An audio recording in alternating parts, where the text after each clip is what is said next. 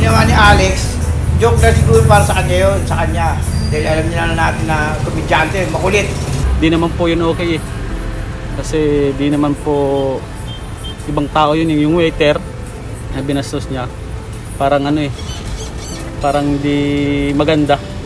Sa akin okay lang kasi talagang kaano naman daw nila eh.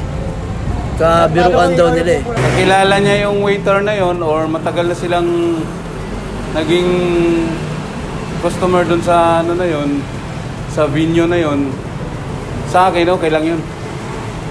Pero ganun pa man hindi talaga maganda sa sa ibang mga sa ibang opinion ng tao.